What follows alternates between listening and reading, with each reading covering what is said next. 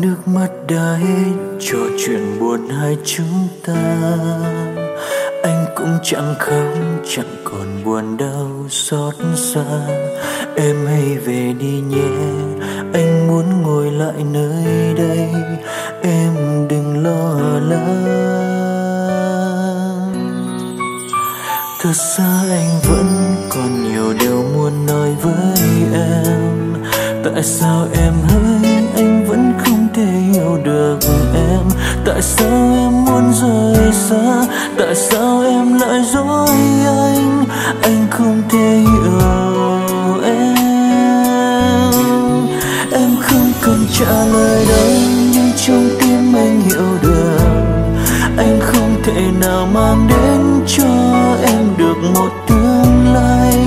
Với em anh chỉ là là một người em đã yêu. Anh cảm ơn về điều đó em hãy ra đi để có thể tìm một người tốt hơn. Em hãy quên đi những ngày em đã sống không được hạnh phúc. Nước mắt anh lại rơi vì anh thấy buồn vậy thôi, chứ không phải tại em.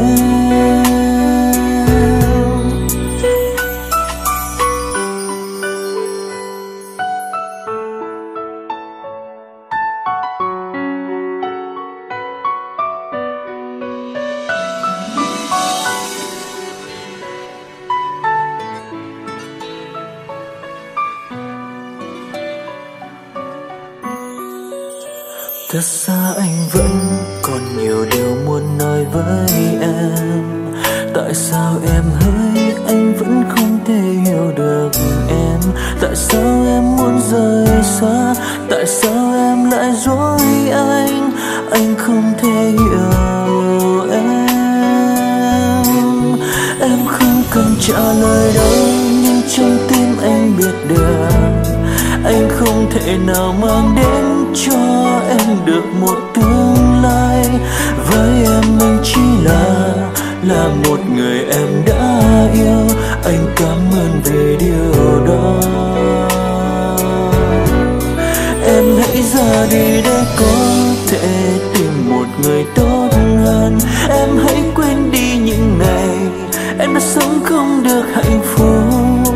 Nước mắt anh lại rơi vì anh thấy buồn vậy thôi, chứ không phải tại em. Em hãy ra đi để có thể tìm một người tốt hơn. Em hãy quên đi những ngày em đã sống không được hạnh phúc. Nước mắt anh lại rơi vì anh thấy buồn vậy thôi.